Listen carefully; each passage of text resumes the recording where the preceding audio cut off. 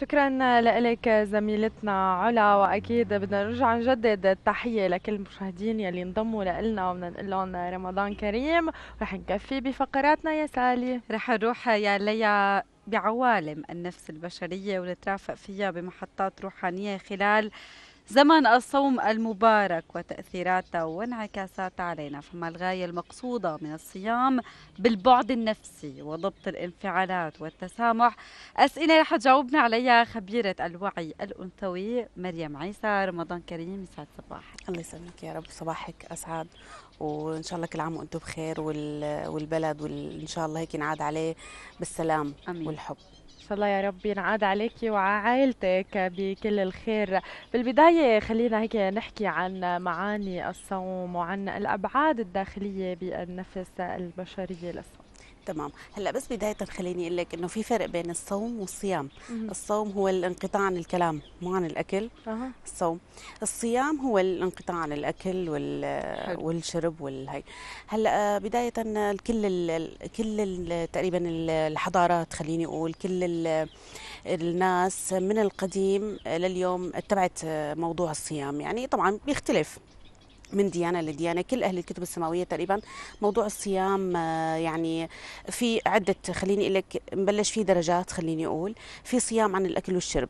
تمام؟ في صيام عن بيقولوا له صيام الجوارح البصر والسمع وال في صيام عن اللي هو صيام القلب أو صيام العقل بداية اللي هو إنه أنت توقفي الأفكار أو بتوقف الأفكار السلبية والضارة والمزعجة.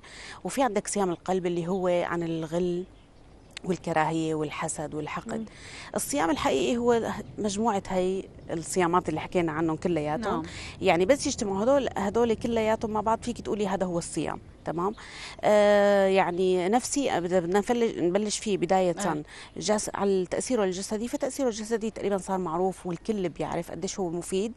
آه صار يتبع بمراكز علاجية وب عن عن طريق أطباء كثير آه كطريقة علاجية لأمراض كثير خطيرة يعني.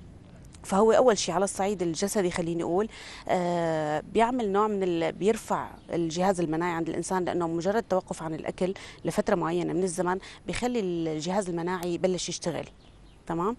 فهو على الصعيد الجسدي أول شيء كثير مفيد يعني.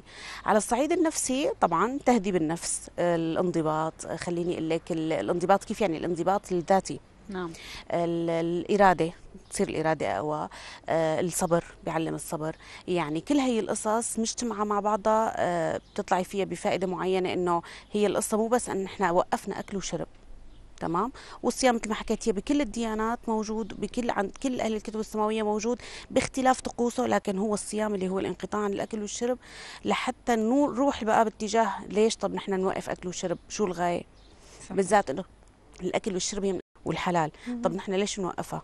شو الغاية منها؟ الغاية منها اولا صحية مع الوقت اكتشفوا الناس بلشوا يكتشفوا العلماء والهي إنه هو على الصعيد الجسدي بيساعد كثير على الصعيد الطبي وعلى الصعيد النفسي لما له يعني خليني أقول لك إنه هو يعتبر دورة تدريبية صغيرة للإنسان بفوت فيها بيطلع منها المفروض بتغيير آه، يعني حقيقي. نعم. يعني يا مريم دائما الصائم أو الصائمة بصير عنده شوية عصبية أحيانا يعني بيكونوا بلا أكل. هو الإنسان الطبيعي بس يجوع بي بصير عنده حالة من حالات ال stress. خلينا نحكي كيف بيقدر الصائم يضبط نفسه يعني ويعود حاله إنه خلص بده يصوم لياذن ووقتها بيفطر وبيروق. لا لازم بيفطر. يروق قبل. طبعا. هلأ هي بداية شوفي هي الكلمة اللي بيقولوها دائما تبع اللهم إني صائم. انت دائما بتحسيها يا تهديد. يا اما إنه أنا ساكت يعني لأني صايم.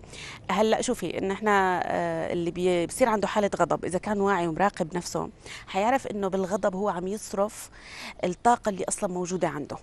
نحن لما وقفنا أكل وقفنا شرب فما ضل عنا طاقة عم نكتسب. هلأ بنحكي بعد شوي عن الطاقة اللي عم نكتسبها حاليا. بس هلأ خليني أحكي عن الطاقة اللي عم نخسرها نعم. كطاقة طعام. هي الطاقة أنت في كل إنسان له حد معين من هي الطاقة. الغضب بيزيد استنزاف هي الطاقة. بيزيد يعني أنا بدل ما أصرف كأني عم باخذ من رصيدي بس عم بسحب منه بسرعة. صحيح. تمام؟ فهو مجرد أول ساعتين ثلاثة بالنهار إذا بلش بحالة غضب بحالة انفعال بحالة توتر صرف رصيده ما بيقدر يوصل لآخر النهار الا بيكون يعني تعبان كثير ومنهار فهو لحاله حيبلش إنه حيتجنب المواقف اللي تدخله بهذا الغضب أو التوتر. لأنه درس بالنسبة له إنه يعني أنا خلص عم بصير آه هذا الاستنزاف ممكن يكون مو واعي له لكن عن طريق التعب اللي بيصير فيه ببلش هو يضبط نفسه إنه أنا لا ما بدي أوصل لهي المرحلة فبحاول أتجنب هاي المواقف اللي بتحطني بحالة ممكن أنا أتوتر فيها أو أصرف هاي الطاقة صحيح. اللي عندي إياها. نعم. خلينا هيك شوي ونروح نحكي عن التسامح. قديش مهم بشهر رمضان المبارك التسامح؟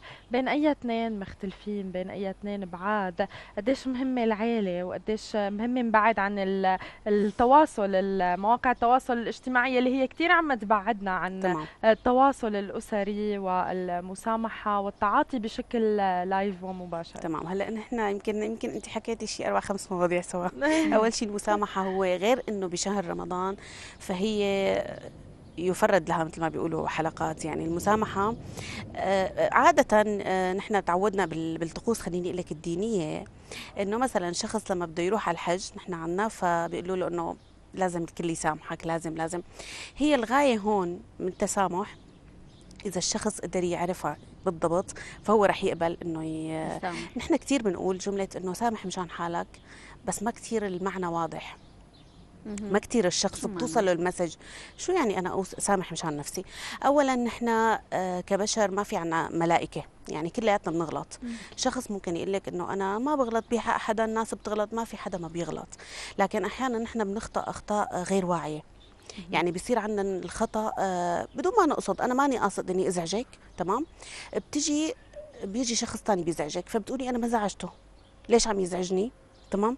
انت ما بتكوني زعجتيه زعجتي غيره. فهو هذا قانون يعني مثل ما بيقولوا كما تدين تدان فنحن ليش عم فتنا بهذا الموضوع؟ موضوع المسامحة لأنه نحن بحاجة لتسامح الناس معنا كمان بداية يعني. ليش بقول؟ إن إنه الشخص بيسامح مشان حاله، شغلة ثانية إذا أنا ما سامحت كتجربة معينة بسيطة بتمر بالحياة إذا أنا ما سامحت بهي التجربة ممكن أعممها على باقي حياتي وممكن تأثر علي لبعدين. إذا بدنا نخصص بس موضوع المسامحة فهو خصلة نبيلة من الخصال اللي كمان كل الأديان السماوية أمرت فيها بين البشر بغض النظر عن أنه شهر رمضان أو صيام أو كذا. هو مطلوب بكل الحالات تمام؟ ومثل ما حكيت أنه لأنه نحن بحاجة لتسامح الناس معنا.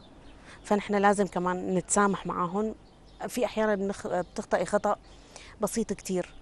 والكون ما بيعرف إنه الخطأ صغير أو كبير بس بيعرف إنه خطأ وبده يرجع.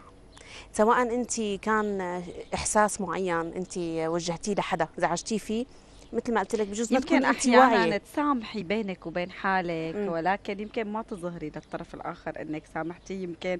بس مهم هيدا إنك أنت تسامحي أنا سامحتك بس أنا ما ضروري أحكي معك بالزبط. أو ما ضروري. يمكن هيدا الفكرة يلي بدنا بدنا تحكي لنا عنها هلأ الفكرة هي بإنه أنت في أشخاص بيقول لك أنا ما فيني سامح مبدئيا.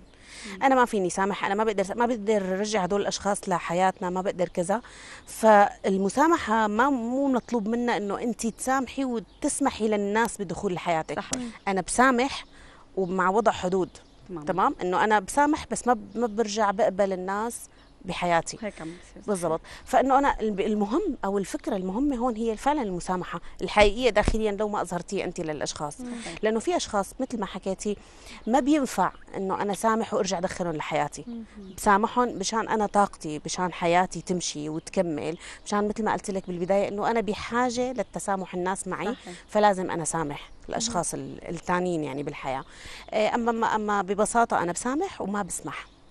تمام برسم حد وخلص ما بسمح للناس إنها تدخل. نعم خلينا كمان نحكي عن التواصل بين بين العائله بالشهر الكريم. قديش مهمة الجمعة؟ قد مهم الحدا الكبير بالعائله إنه نحن دائما نروح لعنده ونكون ون يعني ونس تمام. معه بشهر الخير. هلأ شوفي من أهم الأشياء يمكن وقت كنت عم حضر للموضوع اللي بدنا نحكي فيه اليوم الشيء اللي أنا هيك استشعرته خليني أقول إنه الناس بتحب خليني أقول النظام الانضباط يمكن بتحب يكون في قانون بالحياة.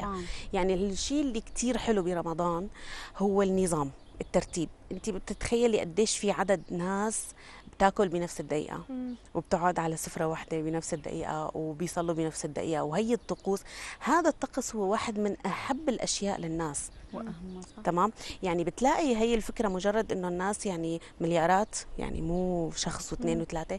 هذا النظام هو من الأشياء والطقوس المحببة. يعني الأشياء اللي بتخلي الناس مشتاقة لرمضان هو هذا بالأيام العادية في عشوائية في فوضى بالحياة بالمواعيد كل الأكل مواعيد اي بالضبط. كل واحد بياكل لحاله. كل فهي الودية وهي الصله الصلة اللي بتصير والتقارب اللي بيصير آه، بسبب هذا الشهر هي من اجمل أجمل الأشياء اللي بتصير آه، خلال رمضان يعني. يعني دائما الشخص بشهر رمضان نوعا ما بتتنظم حياته.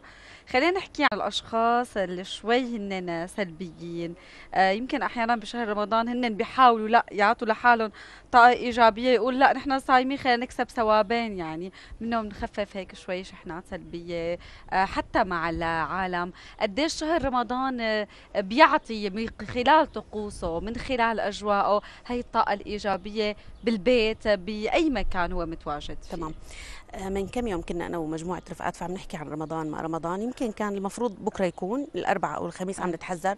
فقالت لا سبحان الله رمضان له ريحة. بتحسي في ريحة معينة إنه جاي رمضان. خلص لا مو بكرة أكيد اليوم اللي بعده. فهذا الإحساس فيه آه، مو من فراغ يعني. أكيد هي الروحانيات اللي كنا عم نحكي نحن عن قلت لك بعد شوي بنحكي فيها بين الطاقات يعني. أه حكيتي لي انت سألتيني عن الشخص السلبي الشخص السلبي هو ببساطة آه، الدافع. أنا شو اللي بيدفعني؟ أني أنا من الأشياء اللي بتنميه بنميها الصيام هو الإخلاص. يعني ليش؟ بقول لك هي الخصلة. آه، شخص الدنيا شوب وحر وهو جوعان وعطشان صحيح. ومانع نفسه. هذا الضبط وتهذيب النفس. آه شو شو الدافع؟ له غير هو في صلة ما حدا شايفه. الا بيعرف إنه في صلة بينه وبين رب العالمين تمام وإنه أنا عم بعمل كطاعة وكمراقبه أو عنده بتعلى عنده المراقبة الداخلية بشكل كتير كبير مم. تمام فالشخص حتى السلبي هو بيعرف إنه أنا لما ضبطت نفسي عن الأشياء المباحة إلي واللي هي حلال أنا ضبطت نفسي عن الأكل وعن الشرب وعن الأشياء اللي مسموحة إلي بالأحوال العادية فضبط النفس بيصير كل شخص بيعرف أنا كيف ممكن أنا أضبط حالي كيف ممكن أتجاوز هاي القصة كيف ممكن وبيستمدوا طبعا. هلأ بدي أحكي لك بقى عن الطاقة اللي نحن قلت لك نحن بناخذ طاقة من الأكل لكن هي الطاقة تعتبر مادية نعم. ملموسة وكثيفة. هي الطاقة بتاخديها. آه، ممكن أنت تصبري يوم كامل بلا أكل يومين بس بعدها خلص بدك تاخذي أكل تمام؟ والشرب نفس الشيء. فهي الطاقات كلها تعتبر طاقات كثيفة بالنسبة لجسم الإنسان تستهلك بس... كثيفة لكن تستهلك كمان بسرعة. بسرعة الطاقة اللي بتصير خلال شهر رمضان هي طاقة من المصدر من من من رب العالمين مباشرة. هي الطاقة الشخص إذا وعي لها يعني أنت اليوم عم تسمعي هي المعلومة إذا عرفتي إنه في طاقة بهذا الشهر بتكفيكي سنة كاملة نفسيا. تمام؟ انت الأشخاص غالبا بيقول لك إنه نحن وكل يوم بسمعها لليوم ومبارح سمعتها ليش بيصوموا؟ بيصوموا مشان بيحسوا بالفقير. فأنا كان تعليقي إنه طيب الفقير بمين بده يحس؟ الفقير اللي هو أصلا عنده فرض الصيام لمين بده يحس؟ هو هي جزئية. هي جزئية خليني أقول لك ما بدي أنفيها لأنه بتخلي نوع من التواصل الاجتماعي آه، الين وتخلي الناس آه، فعلا اللي بيكون عندهم آه، مثل ما بيقولوا سعة بتصير نظرتهم فيها تعاطف أكثر نعم. بالنسبة لل... لكن مو هو الجزء اللي ليش نحن بنصوم ما بنصوم أكيد بس مشان هي الجزئيه يعني. ففي طاقة اللي هي الروحانية اللي بنستشعرها كلياتنا ما بنقدر نفسرها بالكلام بس بنشعر فيها. هي الطاقة على الكل بتنزل لكن أنت لما بتوعي لا بتصيري أنت بتستشعري إنه أنا في طاقة هلأ عم باخذها في طاقة عم بكتسبها في طاقة عم تجيني كل بشكل يومي خلال بشكل يومي خلال 30 يوم. وبيقول لك إنه هي الطاقة بتكفيكي سنة كاملة نفسيا. إيه، فالشخص يعني ببساطة بيقدر يضبط حاله لما بيعرف المكافأة. اللي ممكن تجي من ضبط النفس. نعم. يعني إن شاء الله هيك بينعاد هالشهر الكريم والمبارك على الكل بالخير والتسامح والإيمان وصفاوه القلوب والنفوس كمان. نحن كثير بدنا نتشكرك وشكرا على هالإضاءات الروحانية اللي قدمت لنا إياها. حبيبتي شكرا لك. شكرا لك وإن شاء الله رمضان كريم عليك وعلى كل إن شاء الله يا رب.